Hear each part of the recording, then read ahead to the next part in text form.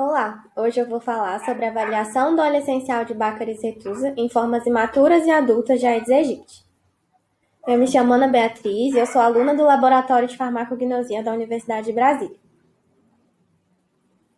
Então, sabes que arboviroses são uma ameaça à saúde pública nos países tropicais, visto sua crescente transmissão.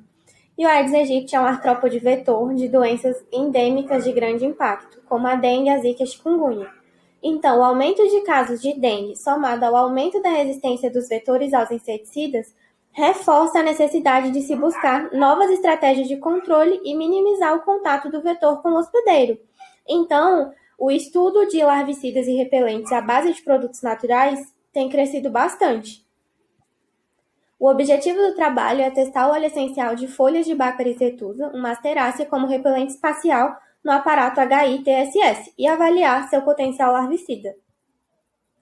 Então, para o ensaio larvicida, foram utilizados copos de 300 ml, contendo inicialmente 120 ml de água.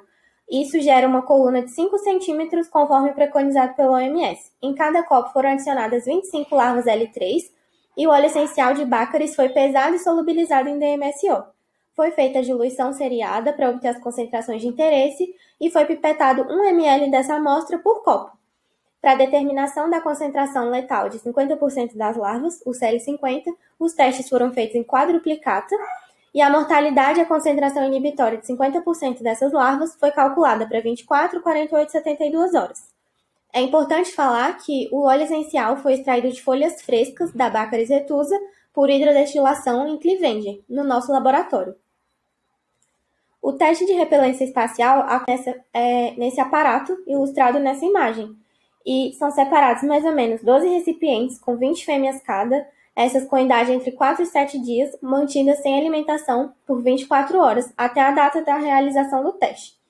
Então, são preparados 4 ml de amostra na concentração de 10% volume-volume, e essas redes são tratadas com o auxílio de uma micropipeta. Cada tratamento utiliza um volume de 1 ml e meio.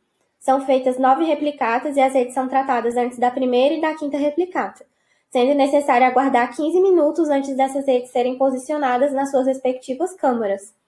20 fêmeas são adicionadas na câmara central do aparato, é, a qual é conectada a uma câmara de tratamento e uma câmara de controle, e esse pano preto é colocado em volta, para evitar a influência da luz sobre os mosquitos. Os portões são abertos e são contabilizados 10 minutos. Após esse tempo, as fêmeas são contabilizadas em cada um dos compartimentos. Então, a repelência espacial é expressa pelo valor do SAI, que pode variar de menos 1 a 1, e pelo WSAI, que vai representar o quão repelente ou atrativo uma substância é, permitindo que a gente ranqueie para saber qual é mais repelente e qual é menos repelente. Essas plantas do gênero Baccharis são amplamente encontradas na América do Sul e Central, inclusive a nossa foi coletada aqui no Cerrado. É, e existem relatos de uma possível atividade antiparasitária, principalmente relacionada à leishmania ou Trypanosoma cruzi. No entanto, não foram encontrados estudos relatando sua atividade em formas imaturas e adultas de Aedes aegypti. Os dois óleos utilizados para os experimentos foram extraídos do mesmo indivíduo, porém em épocas diferentes. A amostra Arbo 30A 052B foi testada em seis concentrações e obteve o CL50 de 42,7 ppm em 24, 39,52 ppm em 48 horas e 33,87 ppm em 72 horas. No entanto, a amostra Arbo 30A 054B não foi avaliada, pois não havia quantidade suficiente para realizar os testes, segundo os parâmetros da OMS.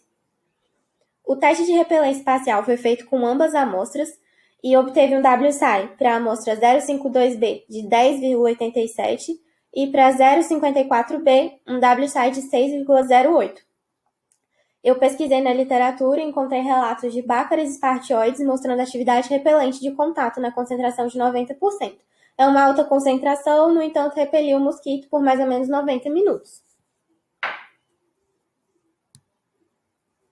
Então, pode-se concluir que a Baccharis retusa tem potencial larvicida promissor, no entanto, apresentou um baixo potencial repelente espacial ao comparar os valores de WSI com outros óleos essenciais testados sobre as mesmas condições no laboratório de farmacognosia. Estudos futuros abordando sinergismo entre óleos essenciais ou preparo de formulações podem ser interessantes para dar continuidade nesse trabalho. Aqui estão as referências e obrigada.